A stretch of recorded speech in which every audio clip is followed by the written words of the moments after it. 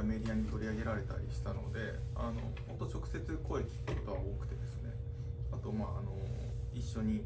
舞台挨拶したりですとかそういった時にあの一応広島のメディアでは西日本豪雨を題材っていうのを結構前に押し出されていたのであの実際に被災された方とかが来てくださっていろんな思いの丈を、本当皆さん好意的に受け止めてくださっていたので、そこはなんか安心しました、上映後の舞台挨拶ですと本当に温かい拍手があの送られてくるというかそれを耳にするとああ温かい映画になったんだなと思います。でよくよくあのもう涙が止まんなくてとか幾度も泣いてっていうお話は直接サイン会の時とかにパンフレットのサイン会の時とかに伺うんですけれどもそれでもあったかい映画だったって必ず言ってくださるのがああよかったなと。その泣きに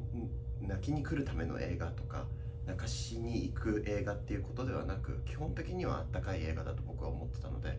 そうお客様に受け止めていただけたのは嬉しいなと思います。そうですね。役柄が全然違うのでで全然違うけど全部の役柄この冬は3作品続くんですけど3作品とも全部できたのでだからやりきったと胸を張って言えます。今回に関しては最初にプロットを書いてで肉付けをしていってと同時に書いたことなかったんであ今回。もあそうなんですか。でまああの勉強しながら書いて2年ぐらい勉強したんですけどで書いて。でなんか細かいところとかはやっぱり取材しないとわからないことだったりあるので、まあ、いろんな人に聞いたりあったりしながら詰めていって。そうですね。で出来上がって。出来上がったんですけどもまたちょっと期間を置いてその間別のものを作ったりとかして。なんでトータルで言うとすごい長い時間かか本当に2年近いと思いますね。そうですね。CM ですともうカット割りからあの、まあ、俳優さんが出ていただけるんだあれば俳優さんがしゃべる尺感ってほぼ決まってるんですけど、映画はもうねその間というかシーンによってすごく長くなると、ね、ゆっくりしゃべれば長くなりますしそこの調整は絶対しないので、うん、そこはまた違うところですね。CM なんかだとやっぱり絵コンテ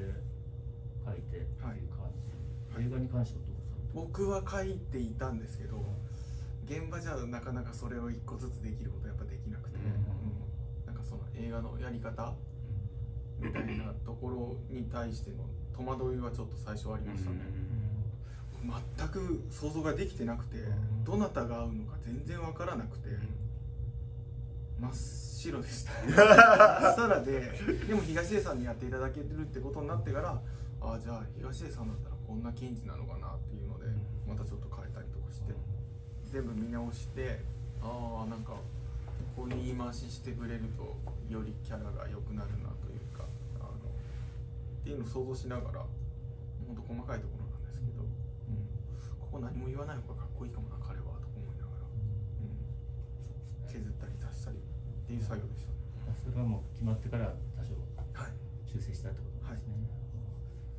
すごい明瞭に書かれてる台本だったんですっていうのも起承転結がとかっていうことではなく例えば役者の心の機微昨日もあの舞台挨拶の時にお客様からそのあの時にどういうふうにああいうセリフの言い方をしたんですかっていう部分があってなんかあのまあ瞳子ちゃん演じる凛子のお母さんが生前どんな母だったかっていうのを瞳子ちゃん、まあ、凛子に話す時に、まあ、おせっかいだったみたいに話す芝居があったんですけどお客様からそこの台本ってもともとああやってちょっとはにかむように笑うように言うところだったんですかって聞かれてえどっちだったろうと思ったんです。ただと書きにはやっぱりちょっとクスッと笑いながらそのおせっかいだったって書かれてて多分そのクスッと笑うっておせっかいだったって鬱陶しくっていうことだってもちろんできる中でそうじゃなく一つのその温かさだったり自分にとってはおせっかいにも感じたけどその人間的な温かみを感じたっていうことを人が言う説明する時に多分クスッと笑うんだと思うんです。そういう心の機微みたいなのが台本のセリフの中にもと書きの中にも書かれてたのであとはそれをまあこういうことですかとかこっちも監督のところに行って提示しながらお話聞きながら撮ってくっていう感じなんですけどはっきりと書かれてるから全然滞らなかったですね、うん。お芝居は、うん、みんなそうだったと思います。今回のキャストで悩んでとかどうやってこのセリフ言うんだろうとかっていうことは誰一人なかったと思います。あでも本当に撮影前に一緒にね、うん。漁師さんのとこに行って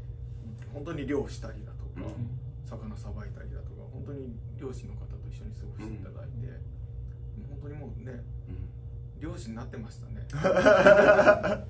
まあスカウトされました。うちの漁協にどうだって。黒鯛もね捕まえてたし。そうそううん。結構あれですよね、まあ、仕事の合間ってことだと思うんですけどその協力体制はバッチリだったってことなんですね。そうですね。うん、なんかまあお仕事ある時ももちろんあったりしたんですけど、うん。空いてる時に、うん。助けてくれました、うんあのー江田島、まあ、江田島と下鎌狩りっていうところで撮影したんですけど下鎌狩りの漁師さんに結構全面的に付きっきりで協力していただいてで漁船出していただいてそのライセンス持ってる方が同乗してるからっていうので僕も操船させてもらったり釣り糸垂らしたりで瀬戸内海っていうのを小さな池だと思ってるっておっしゃってて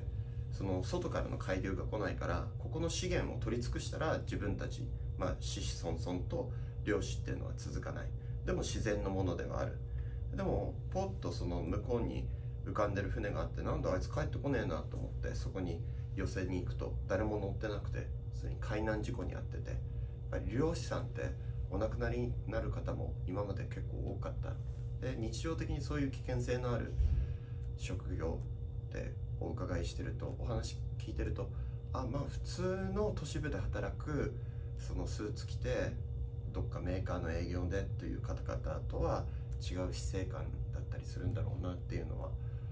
お話伺って思いました。うん自分には何があってもおかしくないのにそれでも家族を失ってでも自分自身も性に固執してるのか何なのかその毎日吊るしてる風船を見てる時に彼は何を思うのかっていうのはやっぱり漁師の設定っていうのは非常に大きかったと思います。難しいですね。あのー、本当にこうやって名古屋ですとか全国に広がることを最初全然想像できてなくて本当に配給会社も決まってない中で作りたいから作るっていう状態で始めたんですね。であのー、本当にこの何年間か西日本豪雨があって直後からコロナが始まって本当になんだろうまあ僕広島住んでるんですけど広島の街自体もなんか本当閑散としちゃっててすごい寂しい街になっているなっていう感じる中で、まあ、この映画作っていこうと思ったのでなんだろう悲しい映画にはしたくないなと思ってなんか気分落ちてる時にさらに気分落とし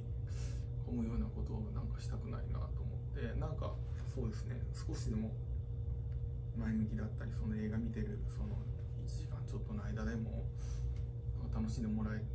たらいいなっていう思いでは作りました。いや本当にあったかい映画なのであの疲れてる時とか心がちょっと落ち込んだ時とかに見ていただけたら元気になってお帰りいただけるんじゃないかなと僕は思います。だからその多頭日瀬戸内海の本当に青い空に照らされた海を眺めに行くような気持ちで朗らかな気持ちで劇場に足を運んでいただけたらなと思います。結構あのーストーリーの紹介とかだと暗い感じなのかなって思われる方が多いと思うんです。でそれでちょっとまあ今なんかその見るのにちょっとなんか心の構えが必要というか、いう映画も多分たくさんある中で、うんそこまでじゃないと思ってるんですね、なんか本当におちゃらけたキャラクターとか出てきますし何でしょう。あの本当に気軽に見ていただいてもいい映画だと思っているのでなので本当にあのお気軽に ご覧いただけたらいいなとは思います